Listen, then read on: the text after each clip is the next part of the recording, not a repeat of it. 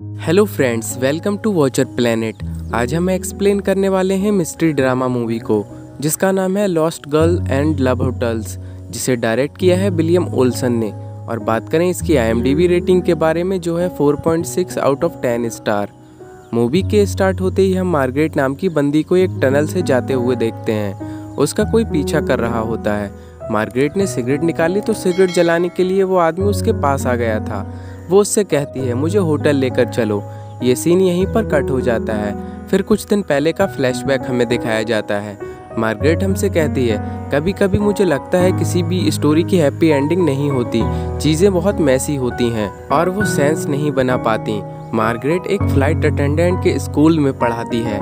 वो ये job Japan में करती है और वहाँ की लड़कियों को चीज़ें सही से प्रोनाउंस करना सिखाती है।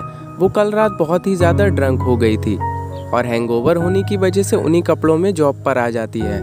उसकी एक स्टूडेंट है, जो उसे एज आ टीचर बहुत पसंद करती है। वो स्टूडेंट उससे कहती है, तुम्हारा आउटफिट बहुत ही अच्छा है। कल रात मार्गरेट जिन कपड़ों में बाहर गई थी, वही कपड़े पहनकर वो आई हुई थी। इसका मतलब होता है वो रात भर अपने घर ही नहीं गई। फिर वो एक टॉयलेट में जाकर अपना आउटफिट चेंज करती है। यहाँ की बॉस ने ये सब नोटिस किया। वो मार्गरेट से पूछती है, क्या तुम ठीक हो? मार्गरेट कहती है हाँ मैं ठीक हूँ। मार्गरेट एक छोटे से स्टूडियो अपार्टमेंट में अकेली रहती है। इसके बाद हम देखते हैं मार्गरेट अपने फ्रेंड के साथ एक बार में हैंग आउट कर रही थी। उसके एक फ्रेंड का नाम लियम होता है और दूसरे का आइनेस। वो उस रात भी बार में ड्रंक होकर उन दोनों से कह रही थी, एक्चुअल में ड्रंक होना कैसा होता है? यानी कि इतना ड्रंक कि आप चल फिर भी ना पाओ। इसके बाद टॉयलेट जाते टाइम वो एक आदमी से टकराती है और उस आदमी के साथ इंटीमेट हो जाती है। बाद में ये फिर से अपने फ्रेंड को ज्वाइन करती है और ड्रंक हो जाती है। इसके बाद हम देखते हैं मार्गरेट और लियम जब अकेले होते हैं, तब लियम पूछता है, तुम कभी मुझे डेट क्यों नहीं करती? वो उसके पास आ गया था। मार्गरेट कहती है, मैं तुम्हें एज अ ब्रदर देखती हूँ। इसके बाद बाहर जाते हुए उसने एक बंदे को नोटिस किया, जिसका नाम यकूज़ा होता है। मार्गरेट कहती है, उसने अपनी लाइफ में देखा हुआ यकूज़ा सबसे ब्यूटीफुल आदमी है। यकूज़ा भी उसे नोटिस करता है। सिग्नल ख़त्म होते ही ये दोनों अपने अपने रास्ते चले जाते हैं। बहुत रात हो चुकी थी। उसके फ्रेंड घर पर चले गए थे, लेकिन वो घर पर नहीं गई। इसके बाद वो फिर से ड्रंक होने लग गई। इस बार में वो एक और आदमी से मिलती है। दोनों ने एक दूसरे को देखकर स्माइल किया और फिर वो आदमी डायरेक्टली उसे एक होटल लेकर आया और ये दोनों इंटीमेट हो जाते हैं। इंटीमेट होते टाइम मार्गरेट कहती है, मुझे हर्ट करो उसका मतलब होता है हाथ पैरों में पट्टियाँ बांधना। ये सब वो अपने साथ करवाना चाहती थी। उसे ये सब करवाना अच्छा लगता है। वो आदमी उसे हर्ट नहीं करना चाहता था, इसलिए वो उसे ऐसे ही छोड़कर चला जाता है। मार्गरेट आज रात भी घर नहीं गई थी तो ऐसे ही अगले दिन जॉब पर आई। वो पूरी तरीके से हैंगओवर थी और ठीक तरह से चल भी नहीं पा रही थी। उसकी बॉस उसे देखती है और कहती है, आज तुम्हारी तबीयत ठीक नहीं है। ऐसा करो तुम घर चली जाओ।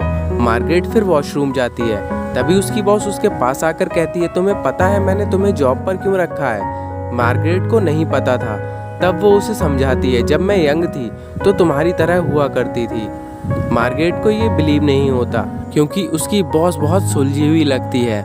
उसकी बॉस उससे कहती है, मेरा हस्बैंड नहीं है, मेरे कोई बच्चे नहीं हैं। सब लोगों को पता है, मैं बहुत ही सैड हूँ। मैंने अपनी लाइफ में कितनी भी मिस्टेक की हूँ, फिर भी मैं इन लड़कियों को कुछ सिखा सकती हूँ। वो मार्गरेट को सही करने के लिए इंस्पायर कर रही थी। इसके बाद हम देखते हैं, मार्गरेट एक बुक स्टोर में आई और यहाँ पर वो एक पेंटर की बुक देख रही थी। उस पेंटर ने इसमें सारी न्यूट पेंटिंग्स बनाई हुई थी। अचानक से उसे यहाँ पर एकूजा मिलता है। वो उससे पूछता है, क्या तुम्हें आर्टिस्ट पसंद है? वो कहती है हाँ। यकूजा कहता है, मुझे भी। इसके बाद हम डायरेक्टली इन दोनों को एक होटल में देखते हैं। मार्गरेट जैसा चाहती थी, उसके हाथ वगैरह बाँध कर इंटीमेट होना। यकूजा उसी तरह से उसके साथ इंटीमेट होता है। वो उसे कहता है प्लीज़ ऐसा मत समझना कि मैं बहुत ही गलत आदमी हूँ। वो कहती है, नहीं, मैं नहीं समझूँगी। अगले दिन वो अपने जॉब पर आती है। तब उसकी बॉस कहती है, क्या तुम्हें ये सारी चीज़ें सही लगती हैं? मार्गरेट कहती है, एक्चुअल में मुझे ये जॉब करना अच्छा लगता है। उसे फ़्लाइट अटेंडेंट स्टूडेंट को सारी चीज़ें एक्ट करके बताना अच्छा लगता है। उसे अपने अलावा और किसी का भी रोल प्ले करना अच्छा लगता है। उसका जॉब खत्म होने के बाद नीचे याकूजा उसका वेट कर रहा था। वो कहता है, ज़्यादा बरी मत करो। हम सिर्फ़ डिनर के लिए जा रहे हैं। फिर वो उसे एक रीजनल रेस्टोरेंट में लेकर गया, जहाँ उन्हें अपने शूज़ निकालकर अंदर बैठना होता है। जब मार्गरेट ने अपने शूज़ निकाले तो उसके सॉक्स फटे हुए थे। मार्गरेट को अनकंफर्टेबल ना लगे तो इसलिए यकूजा उसे एक अलग रेस्टोरेंट में लेकर आता है। वो से पूछता है, तुम जापान में क्यों हो? तब वो कहती है, मुझे अकेला रहना था। मैं वैसे लोगों से दूर रहना नहीं चाहती। मैं सिर्फ़ अपनी कंट्री से दूर रहना चाहती थी। वो बातें कर रहे थे। तभी पीछे से एक आदमी ड्रंक होकर आया और मार्गरेट से टकरा गया। वो उस वजह से थोड़ा अनकंफर्टेबल हो गई और वॉशरूम जाकर आई। वो जब वापस आई तो देखती है, शोर शराबा करने वाले लोग वहाँ से चले गए थे। एक्चुअल में यकूजा एक गैंगस्टर है तो उसने ही इन सारे लोगों को बाहर निकाला था।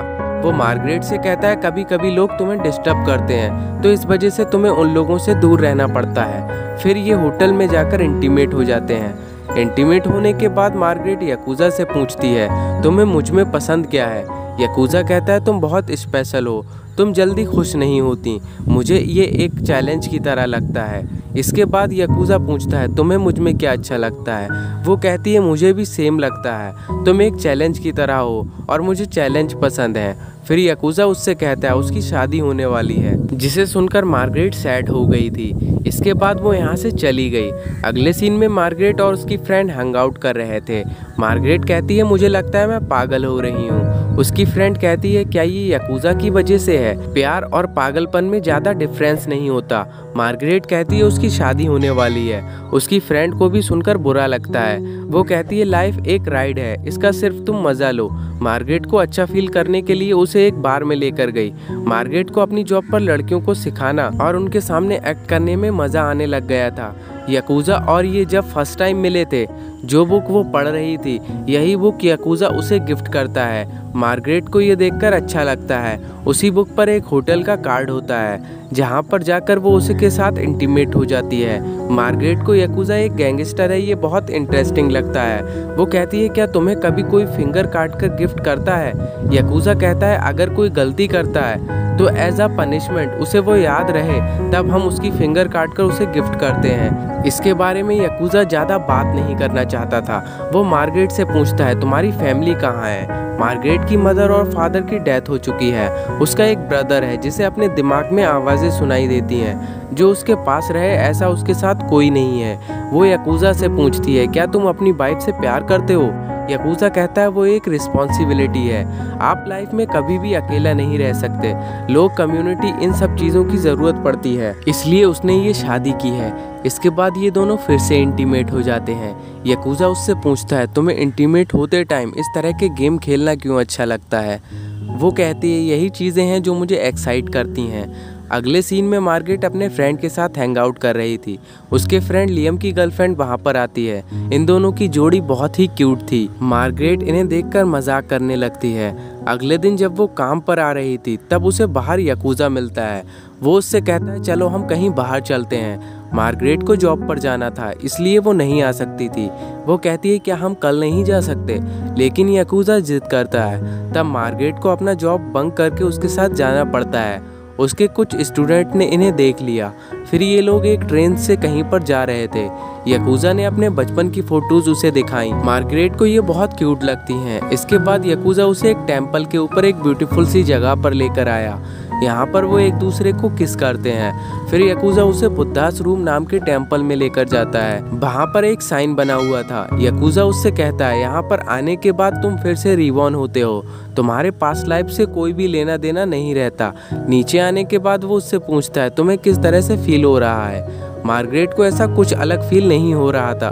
यकूजा कहता है, तुम्हें ये बाद में रियलाइज़ होगा। इसके बाद मार्गरेट ट्रेन में सो रही थी। जब वो अपनी नींद से जागी, तब यकूजा उसके पास अपना जैकेट छोड़कर वहाँ से चला गया था। जैसा कि हमने देखा, मार्गरेट अपना जॉब छोड़कर वहाँ से चली गई थी। इस बात से उसकी बॉस बहुत ज़्यादा गुस्सा थी।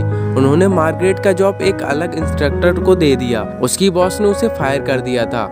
मार्गरेट कहती है, मैं इससे अच्छा कर सकती हूँ। वेटर बन सकती हूँ। उसकी बॉस उससे कहती है, तुमने मुझे नहीं, अपने स्टूडेंट को डिसअपॉइंट किया है। उसकी बॉस को ये सही नहीं लगता। उसने कहा, तुम्हें वेटर बनना है तो कहीं और जाकर बनो।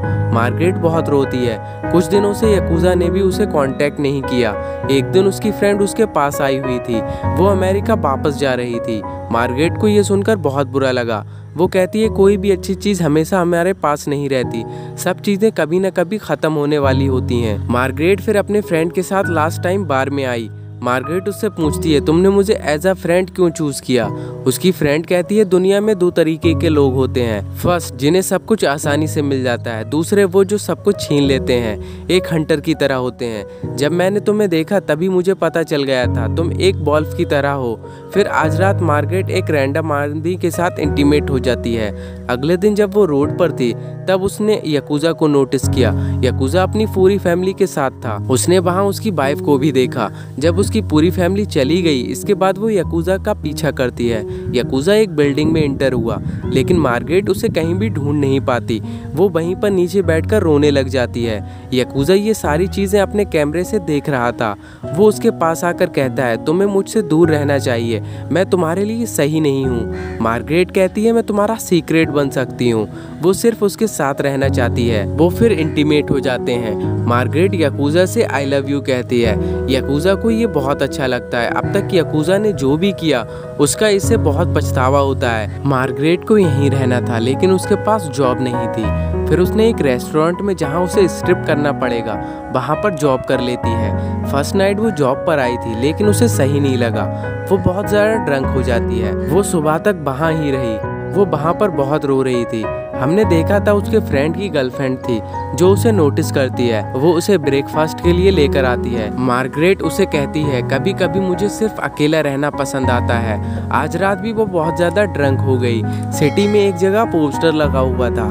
कुछ लड़कियाँ स्टेट से मिसिंग हो रही थी। मार्गरेट आज भी ड्रंक थी। मूवी के स्टार्टिंग में हमने जो सीन देखा था जिसमें मार्गरेट को एक स्ट्रेंजर अप्रोच करता है। मार्गरेट उससे कहती है, मुझे होटल लेकर चलो। ये स्ट्रेंजर बहुत ही अजीब लग रहा था।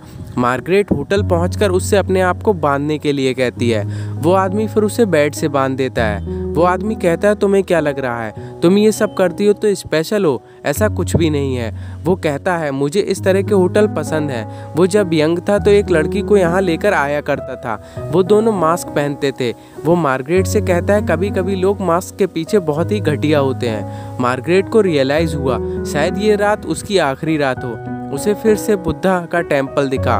उसे लगा वो फिर से रिबॉर्न हो रही है। वो आदमी उसे मारने ही वाला था। तभी वहाँ पर यकूजा आ गया।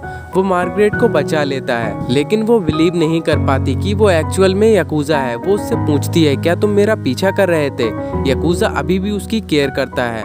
तो इसलिए वो हमेशा उस पर नज़र रखता है। मार्गरेट कहती है, तुम एक कावर्ड हो। यकूजा भी ये मान लेता है क्योंकि वो मार्गरेट से सही से प्यार नहीं कर सकता।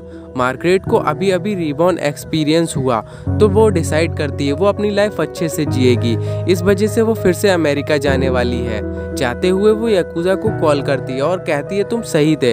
यहाँ के टेंपल में जाने के बाद मैं फिर से रिबॉर्न हुई हूँ। तभी फ़्लाइट में मार्गरेट ने अपने स्टूडेंट को देखा। वो फ़्लाइट अटेंडेंट बन चुकी है। उसे बहुत प्राउड महसूस होता है। वो जो काम करती है, वो कहीं ना कहीं मैटर करता है। मूवी के फ़र्स्ट सीन में उसने जो डायलॉग कहा था, वही डायलॉग वो फिर से कहती है, लेकिन एक एडिशन के साथ। मुझे लगता है कोई भी हैप्पी एंडिंग नहीं होती। लाइफ में चीज़ें होती रहती हैं, जो बहुत ही मैसी हैं। कुछ भी सेंस नहीं बना पाती। उनकी लाइफ अलग अलग इवेंट को जोड़ती रहती है और एक स्टोरी बनाती है। लेकिन ये सब मैटर नहीं करता। अगर हम नोटिस करें तो ये सारी चीज़ें बहुत ब्यूटीफुल हैं। जो भी लाइफ में होता है, इसमें हम ब्यूटी ढूंढ सकते हैं। मार्गरेट अपनी लाइफ में पूरी तरह से हार चुकी थी। उसे यकूजा से प्यार हुआ, लेकिन उसे वो भी नहीं मिला। अब उसे अपनी लाइफ चेंज करनी है। उसने अपने स्टूडेंट को एज अ अटेंडेंट देखा। उसे बहुत अच्छा लगा। जैसा कि बॉस ने कहा था मैंने लाइफ में बहुत सारी मिस्टेक की हैं, लेकिन इन मिस्टेक से मैं कुछ सिखा सकती हूँ।